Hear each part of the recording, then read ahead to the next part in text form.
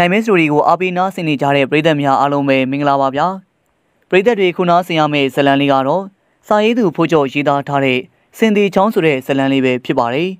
ဟုတ်ကဲ့ပါဒီနေ့ရဲ့ဇလံလေးကိုတော့ကျွန်တော်နေလင်းကတင်ဆက်ပေးသွားမှာပဲဖြစ်ပါတယ်ဗျာမန်နေဂျာဦးလာကျော်သားတို့အဖွဲ့အနေနဲ့စကန်တစ်ခုထပ်ပြောင်းကြမယ့်ရက်ကိုကြာရောက်လို့လာတာကြောင့်တတော်ကျိုးဝိုင်းတစ်ခုလုံးမှာပြောင်းရွှေ့ရမယ့်အလုပ်သမားတွေနဲ့စူညံလို့လည်းနေပါတယ်တချို့အလုပ်သမားတွေမှာ မိမိတို့ရဲ့ပစ္စည်းတွေကို ထုတ်တဲ့သူကထုတ်ပိုးတဲ့သူကပိုးနဲ့အလုရှုပ်နေကြသလိုတချို့တွေကလည်းအေးအေးဆေးဆေးစားတော့ပြီးမှစကန်ရွှေ့ကြမှာဖြစ်တာကြောင့်ဝါကြီးတောက်တွေနဲ့စိန်ပြေနေပြေဝိုင်းဖွဲ့ကောင်းလို့လည်းနေပါတယ်အလုသမားတွေဟာမိမိတို့ရဲ့ဝန်စီစလဲတွေကိုတနိုင်စာထမ်းမိုးထမ်းရွက်သွားနိုင်ပေမဲ့မန်နေဂျာဦးလာကျော်သားနဲ့ရုံးဖွဲ့ဟာဆိုတော့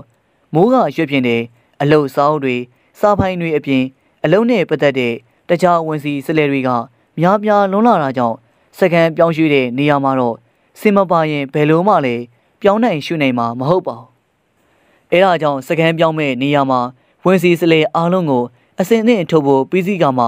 စင်တဲ့ကောင်မှာတကောင်မှစကန်ရွှေ့ပြောင်းရကိုလိုက်ပါနိုင်ခြင်းမရှိဘူးဆိုပြီးဘားမောင်နဲ့ကျော်စံတို့စင်ဦးစီနှစ်ယောက်စလုံးကလာပြီးတရင်ပို့တာကြောင့်ဦးလာကျော်သားတယောက်အကြီးအကျယ်ဒေါပါလို့နေပါတယ်။အေး ကောင်းကြရောပေါ့ကွာတိတ်ကောင်တိတ်ကောင်မင်းတို့နေအောင်ငါအလုံးပါဒီထက်ပိုပြီးတော့အနောက်ရှက်ပေးဖို့ရောအစီအစဉ်မရှိကြဘူးလားတစ်ထုတ်လို့ရင်မန်နေဂျာကဒေါသနဲ့អော်လိုက်တဲ့အခါမှာဘားမောင်တယောက်ခေါင်းငိုက်စိတ်ကြောက်သွားပြီးကျော်စံကတော့အယိုသေးဆုံးအမှုရနဲ့မန်နေဂျာရဲ့ရှေ့မြေပြင်မှာစိတ်ပြက်လက်ပြက်ထိုင်ချလိုက်ပါတယ်မန်နေဂျာစိတ်ဆိုးရင်လည်းစိုးစရာဖြစ်ပြီးတော့စကန်ပြောင်းရွှေ့တဲ့နေရာမှာစိတ်ချရဆုံးဖြစ်တဲ့စင်ဦးစီနှစ်ယောက်ကိုအားကိုးပြီး မန်နေဂျာကိုယ်တိုင်ရွေးချယ်ထားသူတွေပါတခြားစင်နေနဲ့ဦးစီးတွေဟာလွန်ခဲ့တဲ့တပတ်လောက်တည်းကစကန်ပြောင်းသွားကြပြီဖြစ်တာကြောင့်မန်နေဂျာဦးလာကျော်သားမှာလက်ရှိစင်သမားနှစ်ယောက်ကိုသာအကြီးကျယ်ဒေါသဖြစ်လို့နေပါတယ်။ဘာမောင်စိုးစမ်းမောင်မင်းစင်ကဘလို့ဖြစ်လို့စကန်မြောင်းတာမလိုက်နိုင်တာလဲကွာ။ဦးလာကျော်သားကဘာမောင်ကိုအရင်မေးပါတယ်။ဟိုကျွန်တော်စင်မှုံတွေရုတ်တရက်ကြလာပြီးတော့ အနားကိုကက်လို့မရအောင်စိုးနေလို့ပါဝင်တော့မယ်။ဒီနေ့ဒီရက်မှာစကန်ရှိမယ်ဆိုတာဟို၃လေးရက်တည်းကငါကြိုပြောထားရက်နဲ့မင်းကြက်ကြက်မမက်မကြည့်ဘူးလားကွာ။ဒါမှမဟုတ်လေတရက်နေ့ရဲ့အလူကမှုံစမုံနာမြင်နေပြီဆိုရင်ငါ့ကိုလာပြောပါလားကွာစကန်ပြောင်းမှုရက်ကိုရွှေ့တန်းရွှေ့မေးအခုတော့ဒီမနေ့ရောက်မှငါဘလို့လုပ်ရမလဲမဟုတ်ရင်မင်းကိုယ်တိုင်သွားပြီးတော့ခရံဝင်ရုံးကိုတတော်ဦးသွားတယ်မလား ကျွန်တော်လေတော်တော်လေးဂယူးဆိုင်ပါတယ်ဝင်အောင်မင်းရင်မင်းညာကဒီကောင်ကိုစကန်မှာထားသိပြီးတော့တည်တည်ချာချာကြည်တုံးကလည်းဘာမုံရိပ်မုံသွေးမှမရှိဘဲနဲ့အခုမနေ့ရောက်မှကောက်ရတယ်လို့မုံတွေရိုးလာပြီးတော့အရန်နဲ့တွေကလည်းတထောင်ထောင်နေဘယ်လုံးမှထိမရအောင်တောင်းကျမ်းနေတာဗျအေးတိတ်ကိုကောင်းတာပေါ့ကွာမန်နေဂျာဦးလာကျော်သားတယောက်တက်ပြင်းတစ်ချက်ကိုပင်မန်ကြီးစွာချပြီးတော့ညီးလိုက်ပါတယ်ကျွန်တော်ထင်တော့လေ စကန်ပြောင်းရမယ်ဆိုတော့အရက်ဝိုင်းကလည်းတညာလုံးလို့လို့ဒီကောင်ကြီးကိုဟိုလူတစ်ခွက်ဒီလူတစ်ခွက်အရက်တွေဝိုင်းလိုက်လို့အခုလိုမှုံနေဝင်လာဒေါ်စန်းမင်းစိုးစိုးကပြောတော့စကန်နားတောင်ခေါ်သိပြီးတော့ကြက်ကြက်မဲမဲဂယုဆိုင်တယ်ဆိုဘာလို့အရက်တွေဝိုင်းလိုက်တာမတားတာလဲကွာဒီစင်နဲ့ပတ်သက်လာရင်မင်းကဦးစီးပဲငါလီဦးလာကျော်သားကဘာမောင်ရဲ့မျက်နှာကို လုံးဝမကြည့်ကျင်လောက်အောင်စိတ်ပြက်ဒေါသထွက်ပြီးတော့ အော်ငေါ့ပြစ်လိုက်ပါတယ်ဘာမောင်ခမရမလည်းသူ့ရဲ့ဝန်တောက်မင်းမန်နေဂျာကိုဘာမှပြန်မပြောရတော့ဘဲနဲ့ကြက်ကြီးလေလိန်ထားသလိုခေါင်းငုံငုံလို့မြေပြင်မှာဖင်ချထိုင်ပြီးမန်နေဂျာကနောက်တဲ့ဘာများအမိန်ပေးမလဲဆိုတာနားဆွင့်နေလိုက်ပါတယ်။ကဲကျိုးစံမင်းစင်မိုးချိုးရဲ့အခြေအနေကရောကျွန်တော်စင်ကလည်းဒီလိုဘာမောင်ကိုမန်နေဂျာကအော်ငေါ့ထားတဲ့အချိန်ကြီးကြောင့်စင်ဦးစီးကျော်စံကလည်း အယောင်ယောင်အမမဖြစ်သွားရှာပါတယ်။ဘာကွာမင်းစင်လည်းမှုံကြနေပြီလား။မမဟုတ်ပါဝင်မင်းကျွန်တော်စင်ကညောင်စုတာပါ။ဟိုတနီးကတော့ဝင်မင်းတစ်တဲ့တဲ့မှာကျွန်တော်မင်းနဲ့လာရှာသေးလို့ဝင်တော်မင်းကမေးသေးတယ်လေချစ်ခဲစုစူးနေတယ်ဆိုတာကျွန်တော်ဝင်တော်မင်းကိုအစီရင်ခံမိသားပါဗျကျော်စံပြောစီမှာအမှန်ဖြစ်ပြီးတော့ရခင်နေ့ရက်လောက်ကသူ့စိန်မိုးကြိုးကိုစကမ်းမှာလွှတ်ထားတဲ့အခါမှာတော့ကြက်ကက်ယုံတော်တွေတိုးသွားခဲ့တာကြောင့် ခြေတော်တက်ပတ်ဟာစူးစူးလာပြီးတော့အနာဖြစ်နေတယ်ဆိုတာလာပြီးတော့ပြောပြီးမင်းနေတောင်တောင်းသွားခဲ့ပါတယ်ဒါကြောင့်ဒီကိစ္စဟာကျော်စက်မှာလုံးဝအပြစ်မရှိဘူးဆိုပြီးမန်နေဂျာကယူဆထားပေမဲ့ဖြစ်လို့ဖြစ်နိုင်ညာကျော်စက်ကိုလည်းမန်နေဂျာကတီးခေါက်ကြည့်ပါတယ်။နေဘုံကချက်ကက်ဆူးလေးစူးတာနဲ့မင်းစင်ကိုလည်းဝင်နေလို့တော့မရဘူးပေါ့ဟုတ်လား။ဟိုဒီလိုပါဝင်တော့မယ်။ချက်ကက်ဆူးစူးတာကအနာပြေတဲနေလို့မနေ့ကမှ ညှက်သွင်းပြီးတော့ခွေးထားတာပါ။ဟိုမိုးကြိုးကဘယ်လိုမှလမ်းလျှောက်လို့မရသေးပါဘူးခင်ဗျ။အေးကောင်းနေကောင်းနေမန်နေဂျာရဲ့မကြင်မနဲ့တက်ကောက်လိုက်တဲ့အတန်းကြောင့်စင်အိုစီနှစ်ယောက်ဖြစ်တဲ့ဘားမောင်နဲ့ကြော်စံသာမဟုတ်ပဲတစ်ဖွဲ့လုံးကတော့ရုတ်တရက်တိတ်ဆိတ်ငြိမ်းသက်လို့သွားပါတယ်အခုပြောရမယ့်စကန်ဟာဝင်စီစလဲတွေကိုစင်နဲ့မတင်ရင်ဘယ်လိုမှလည်းမဖြစ်သလိုစကန်ပြောင်းလာကြမယ်ဒီနေ့ဒီရက်ကိုလည်းခရိုင်ဝင်ထိအောင် ကြိုတင်ကြီးညာထားပြီးဖြစ်တာကြောင့်စကန်များစကန်စုံကြတဲ့အမတ်ရှင်နဲ့ကိုတို့ကအလုပ်သမားတွေဟာဝေလီဝေလေးအချိန်တွေကကို့ထုတ်ကိုထမ်းပြီးတော့စကန်ကနေအရှိုးအရှိုးထွက်သွားကြပါပြီအဲ့ဒီထဲမှာတော့ကျိုးဝိုင်းအဆက်ကတေကောင်ကြီးဥဖေကြီးကလည်းပါသွားပြီးတော့မန်နေဂျာတို့အဖွဲ့ဟာဒီနေ့အထက်တပြေစကန်ကိုအချိန်မီရောက်မသွားဘူးဆိုရင်တော့အားလုံးသောအလုသမားတွေဟာဖျို့ဖျဲဖြစ်ပြီးတော့နောက်နေ့မနေ့မှလည်းအလုတ်ခင်ဝင်နိုင်ကြမှာမဟုတ်ပါဘူး ပြီးတော့ညောင်စူးနေတဲ့စင်နေကောင်အဖို့ကအလုံနာရက်ဟာအနည်းဆုံး3-4ရက်ဖြစ်ပြီးတော့မှုံကြနေတဲ့စင်ကိုတော့မှုံရိပ်မုံတွေမပြောက်မချင်းဘယ်လုံးမှလည်းအလုတ်ခိုင်းလို့မဖြစ်သေးပါဘူးအဲ့ဒါကြောင့်ထုတ်ပိုးပြီးတဲ့ဝင်းစီစလဲတွေကိုအထက်ထက်အခါကစိုက်ကြည့်ပြီးတော့ဦးလာကြောသားတယောက်စိတ်ဆိုးမပြေဖြစ်နေပါတယ်ကဲဒါဖြင့်လေဒီနေ့ဖို့တော့ဒီပစ္စည်းတွေဒီနေရာကဘယ်လို့မှမရှိနိုင်ဘူးပေါ့ဟုတ်လားစင်ဦးစီးနှစ်ယောက်ဖြစ်တဲ့ ဘားမောင်နဲ့ကျော်စံတို့ကိုမန်နေဂျာကထက်ပြီးတော့မေကွန်ဆင်းလိုက်တဲ့အခါမှာနှစ်ယောက်စလုံးဘယ်လို့မှပြန်ပြီးတော့မပြောနိုင်ပဲငိုင်သွားကြပါတယ်အတန်ကြာတဲ့အခါမှာတော့ကျော်စံက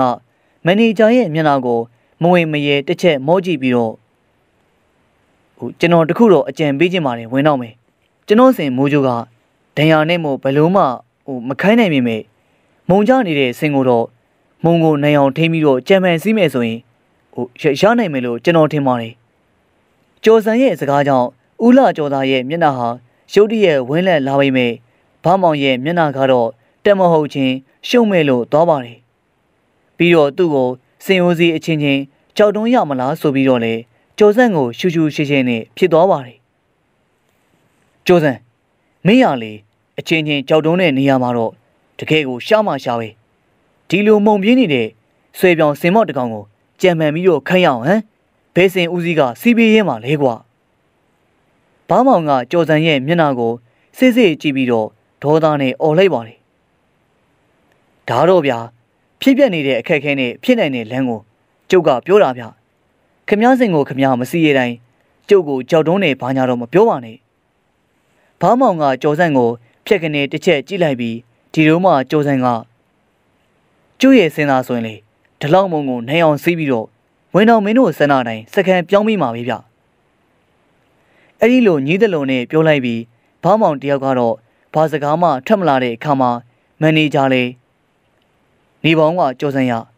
ဘာမောင်ရဲ့စင်ငွေမိုးကမင်းပြောသလိုအချိန်နေမျိုးရောရှိလို့လားဟာရှိပါပြီလားဝင်တော်မင်းရေထူပြက်လွတ်ထွက်သွားလောက်အောင်အချိန်နေစိုးနေတဲ့မုံမျိုးမှမဟုတ်တာဗျအရက်ကြောင်ယာယီခဏယုံနေတဲ့မုံပါဗျာ မုံယူတာတော့ဟုတ်ချင်မှဟုတ်မှာပါအရက်မူပြီးကြမ်းပြနေတာကို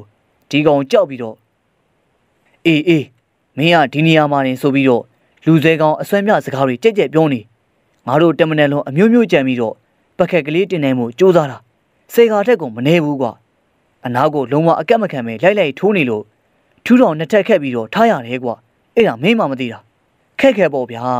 ဒီလိုစင်မျိုးမှုံကိုသာနိုင်အောင်ထိနိုင်ရင်ခိုင်းလို့ရလိုက်တာမှလေ ဟိုဘက်ကန်းကိုတော့လုံနေတယ်အခုကအလုံးလုံးဖို့မှမဟုတ်တာဗျပစ္စည်းလေးတေယုံလောက်ပေးဟောင်းအမှန်တိုင်းပြောရရင်တော့ဒီလိုအကြက်တဲမျိုးမှာကြော်စံဟာ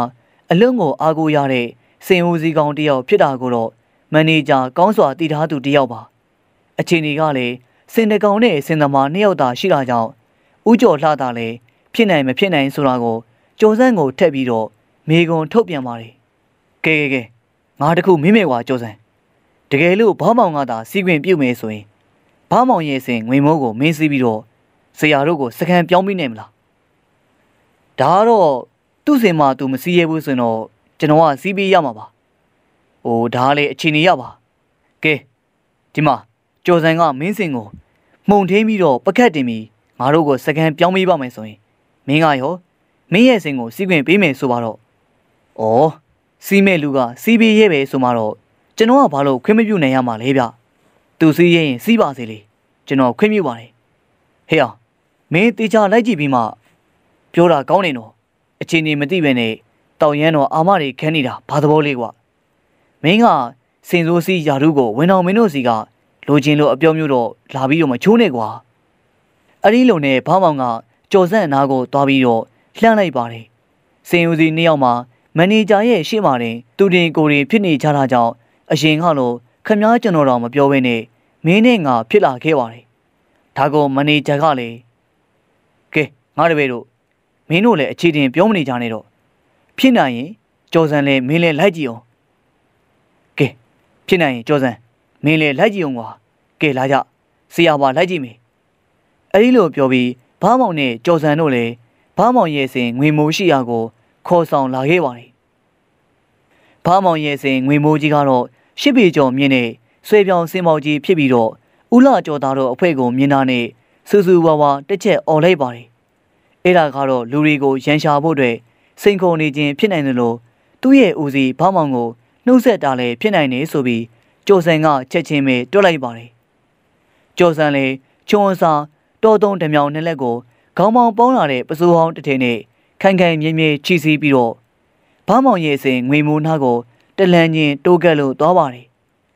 ဦးလာကျော်သာဘောင်းမောင်နဲ့တကွလူအားလုံးဟာဆိုတော့အသက်တောင်မရှူကြပဲကျော်ဆန့်ကိုသာရင်တမမနဲ့ငေးကြည့်လို့နေကြပါတယ်တကယ်တော့ငွေမိုးကရိုးရိုးသားသားအချိန်ကမျိုးမှာဆိုရင်အလွတ်အလွန်ကိုသဘောကောင်းတဲ့တရားဝါကြီးဖြစ်ပေမဲ့အခုအခါမှာ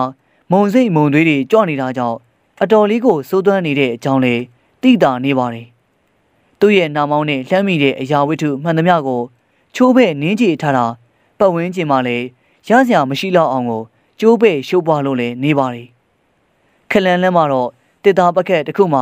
တုံလုံးပလက်နဲ့စောက်ထုံးမိုးမြော်ဖြစ်လို့နေပါတယ်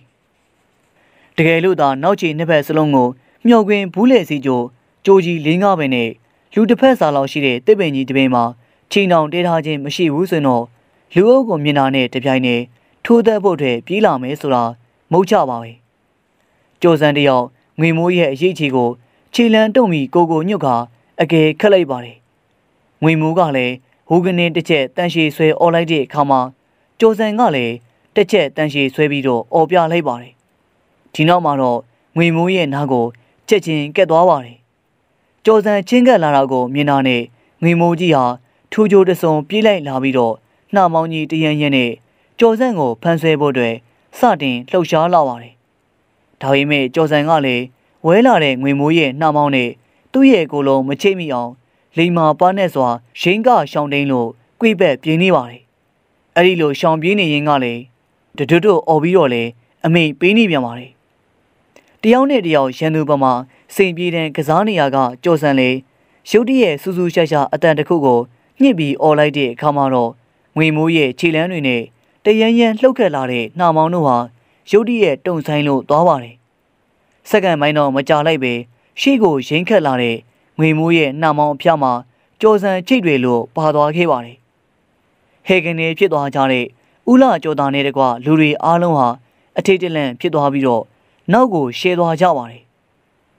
လူတွေရဲ့ပြိုင်နူអော်လိုက်တန်းတဲ့အတူငွေမိုးရဲ့ထိတ်လန့်အတန်ကြွေကနေអော်လိုက်တဲ့အတန်ကလည်းတုံလို့ခြောက်ကြားဝယ်ရာ ကြေလောင်လို့သွားပါတယ်။ကြော်စံတယောက်ခါးချောင်းမှာဖွက်ပြီးယူလာတဲ့ဓမြောင်တလက်ကိုချက်ချင်းအတုံချလိုက်ပါတယ်။လေထဲမှာရမ်းနေတဲ့ငွေမိုးရဲ့နှာမောင်းပေါ်မှာခဏသာရီလီခိုစေးပြီးတော့ကြော်စံရဲ့ခြေထောက်နှစ်ဖက်ဟာ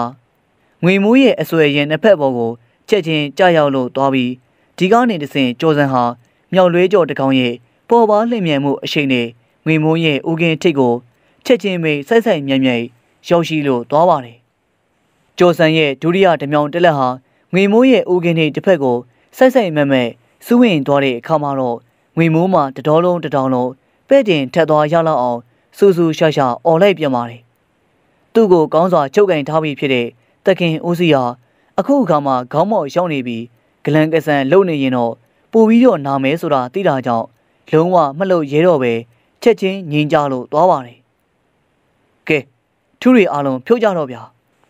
စင်မောကကြော်စံရဲ့အောင်နိုင်တဲ့အတန်းကြောင့်ရှင်သက်ရှူမောအန်အော်တကြီးဖြစ်နေကြတဲ့မန်နေဂျာနဲ့အတူစင်သမားအားလုံးလည်းထိထိလန်းလန်းနဲ့နောက်ကိုမတိမတာရှေ့သွားကြပါတယ်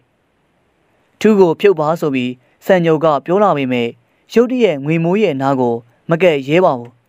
ဒါပေမဲ့စင်ပိုင်ရှင်ဖြစ်တဲ့ဘောင်းမောင်ကတော့မရေတရေနဲ့သူ့ရဲ့စင်ငွေမိုးနဲ့ကြော်စံတို့နာရောက်သွားပြီးအိုင်လောလာလီကွာ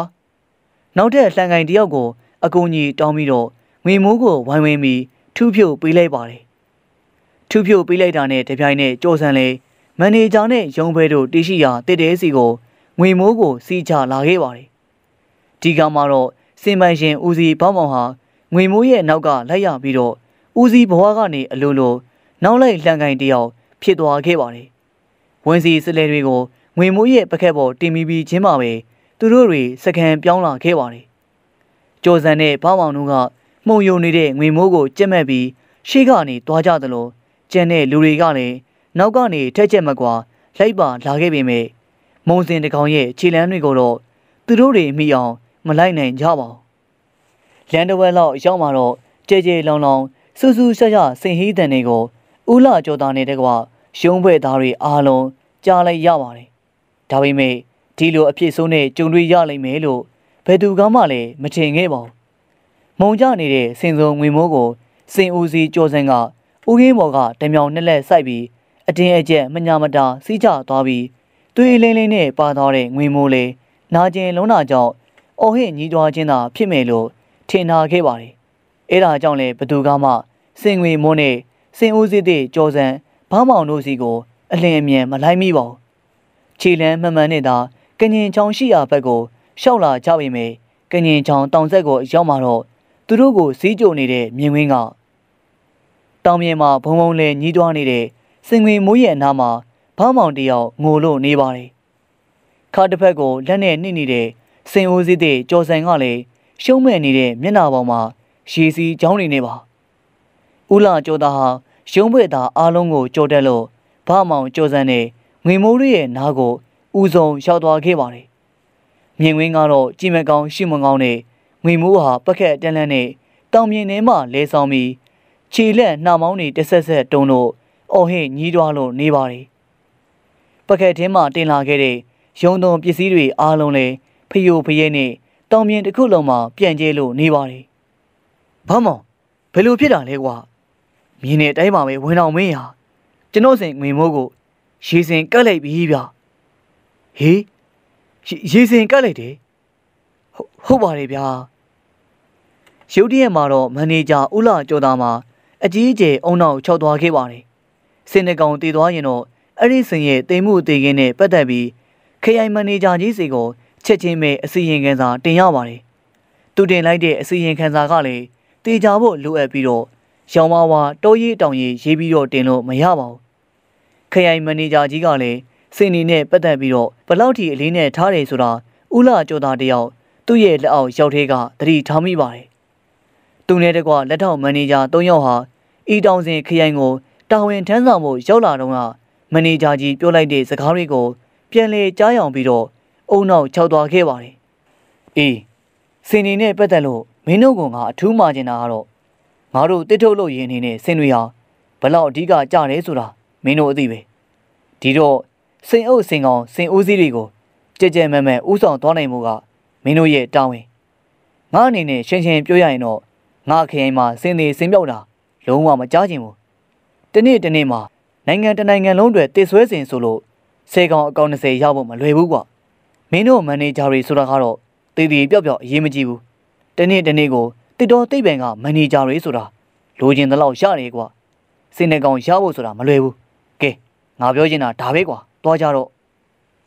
မန်နေဂျာဘနေရောက်ငှက်ပြားမိပြီးတော့ပဲတည်တည်စင်နေကောင်မတည်စေနဲ့ဆိုတဲ့ခရိုင်ဝင်ကြီးရဲ့စကားကိုတော့အခုသူကဖြည့်ရှင်းရတော့မှာပါအဲ့ဒါကြောင့်စင်ဦးစီးတဲ့ကြော်စံနဲ့ဘောက်မောင်တို့ကိုစိတ်မသက်မသာနဲ့လှမ်းကြည့်ပြီးတဲ့နောက်မှာတော့ကဲမင်းတို့စင်ငွေမိုးကိုရေစင်ကဘလို့ဘလို့ကြိုက်လိုက်တယ်ဆိုတာလေနင်းနေပါပါပြောကြအောင်လေကွာဖြစ်တာကဒီလိုပါဝင်တော်မင်းရေဟဟောဒီချောင်းသားကိုရောက်လို့ ငွေမိုးကိုချောင်းနဲ့ဖြတ်ကူးခိုင်းတော့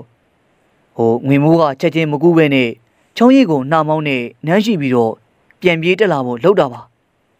အမှန်တော့အဲ့ဒီတွေကကျွန်တော်တို့သတိထားမိဖို့ကောင်းပါတယ်ဗျာဒါပေမဲ့ဒီချောင်းရည်ထဲမှာရေစင်ရှိနေပြီဆိုတာကျွန်တော်တို့မသိပါဘူးရေစင်ကိုမြင်လို့ကြောက်ရွံ့နေကြီးဖြစ်သွားတဲ့ငွေမိုးကိုပဲကျွန်တော်တို့နိုင်အောင်ထိန်းကြပါတယ်အဲ့ဒါနဲ့ချောင်းရည်တွေကိုမစင်မနဲ့ပေကက်ကက်လုံနေတဲ့ငွေမိုးကို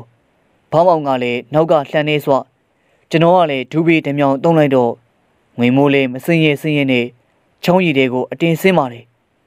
လောလောဆယ်သူအနာမခံနိုင်လို့ဆင်းသွားရတဲ့ငွေမိုးရှီလေတော့မရောက်ပါဘူးဗျာအထိတ်တလန့်អော်ပြီးတော့တောင်မြေမော်ကိုပြေးတက်လာပါတယ်ခြေလန်းစိတ်လန်းတော့မပြေပါဘူးတောင်မြေမှာဘုံဘုံလေးကျသွားတယ်ဗျာကျွန်တော်လေပကက်ဆောင်နဲ့ရိုက်မိလို့ခါတစ်ဖက်နာသွားပါတယ်လေ စင်ဦးစည်းတဲ့ကြော်စံရဲ့စကားအဆုံးမှာဦးလာကျော်သားကငွေမိုးစီကိုတစ်ချက်လှမ်းကြည့်လိုက်ပြီးစောစောတုန်းကတကိုယ်လုံးတစ်ဆက်ဆက်တုံနေတဲ့စင်ကြီးငွေမိုးဟာဆိုတော့အသက်စီဝင်ချုပ်သွားခဲ့ပါပြီလုံးဝလှုပ်ရှားမှုကိုလည်းမမြင်ရတော့ပါဘူးစင်ဦးစီဘောင်းမောင်ရဲ့ဝါကနေငိုချလိုက်တဲ့အတန်ဟာဦးလာကျော်သားရဲ့ရှင်ထဲမှာတော့ဘုံတလုံးပောက်ကွဲလိုက်တယ်လို့ခံစားလိုက်ရပါတယ်ရှည်စင်ကြိုက်လို့တည်တယ်ဆိုတဲ့စိတ်တွေကို အရင်တုန်းကလူပြောသူပြောတာကြားဖို့တဲ့ဝင်းတော်မင်းဦးလာကျော်သားဟာအခုတော့ကိုရီကြုံလို့နေရပါတယ်ဒါပေမဲ့စကန်ပြောင်းမှာကညင်ချောင်းကိုရောက်မှရေစင်ကပ်ပြီးတော့ငွေမိုးစင်တည်သွားတယ်ဆိုရင်တော့ခရိုင်ဝင်မင်းကြီးကလက်ခံမလားသူတို့တစ်ထုတ်လို့ရေးမှရှိတဲ့မန်နေဂျာတွေကလည်းရေစင်ဆိုတာကိုအယုံကြည်မရှိပါဘူးအဲဒါကြောင့်အခုငွေမိုးတည်တဲ့ကိစ္စမှာစင်စီယာဝင်ရဲ့အဆုံးဖြတ်ကသာအတီးဖြစ်မှာပါအဲဒါကြောင့် မန်နေဂျာဦးလာကျော်သားလည်းဆရာဝန်ဦးကျော်တောင်းကိုသာအပူတပြင်းနဲ့အခေါ်လှုပ်လိုက်ရပါတယ်ဦးကျော်တောင်းရောက်လာမှဒီပြက်တနာကရှင်းတော့မှာပါဟုတ်ကဲ့ပါဗျာပရိသတ်တွေဒီနေ့မှနားဆင်ကြရတဲ့ဇလန်လေးကတော့စာရေးသူဖိုးကျော်ရေးသားထားတဲ့စင်သေးချောင်းဆိုတဲ့ဇလန်လေးပဲဖြစ်ပါတယ်ဗျာဆက်လက်ပြီးတော့လည်းခုလိုမျိုးစိတ်ဝင်စားဖွယ်ရာဇလန်လေးကိုဆက်လက်တင်ဆက်ပေးဖို့ရှိတာကြောင့် channel လေးမှာစောင့်မျှော်နားဆင်အားပေးကြပါအောင်ဗျာပရိသတ်များအားလုံးပဲ စိတ်ချမ်းသာခြင်းကိုယ်ဤကျန်းမာခြင်းနဲ့ပြည့်စုံပြီးတော့စီပါလက်လာပါများဒီရေလာတိုးတက်ကြည်ပါကြပါစေဗျာ